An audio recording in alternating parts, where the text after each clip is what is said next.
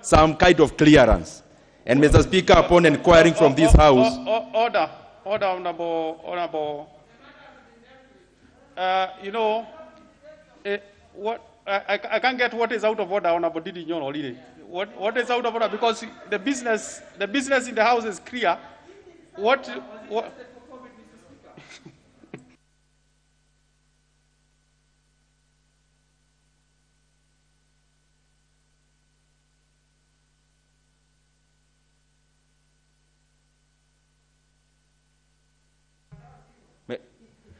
Mr. Speaker, you know, with this House, we have the privilege of raising such issues, Mr. Speaker, which are of national importance.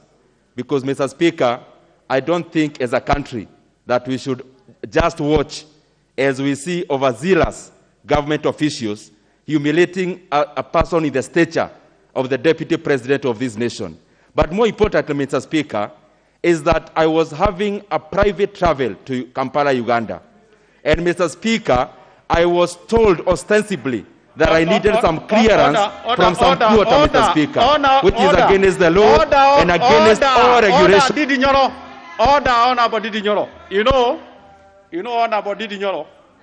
Uh, you know, you, it is just that you came at the late, latter part of this uh, sitting this afternoon.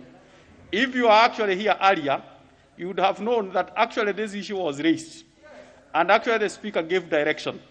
So, uh, Honorable Ndindi Nyoro, uh, let, let us not go that far. At least, let us remain within the direction given earlier by the speaker.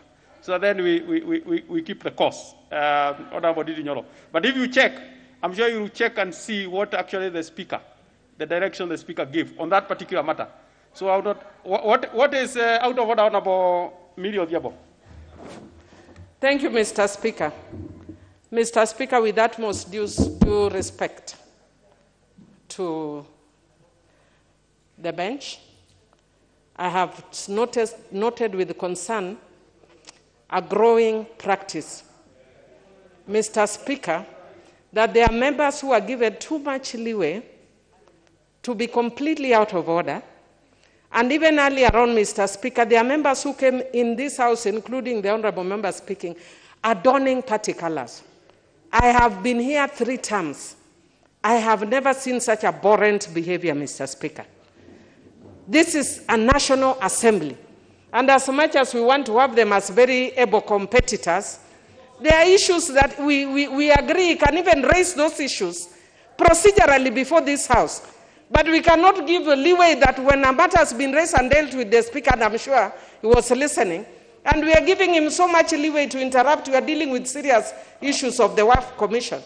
Mr. Very. Speaker, Uh, uh, I am concerned about the Very well. leeway that we are giving Very some members or some parties in this House. I am Order- very concerned. Order, And if we continue, I will come here also Millie. adorning orange and I will dance on the floor. Very because well. we can also be crazy. Honorable Millie. So if Order, we want to go that way, we will Order, go. Honorable Millie.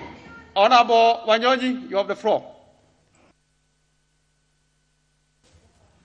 Mr. Speaker, I've been sitting here listening, and I want to take this opportunity to make my remarks. And I think uh, we need some clarifications, which I think has been clarified. Um, and therefore, I want to agree with the House that, first of all, we have had this um, uh, uh, uh, law that has been there since 1951. Some of us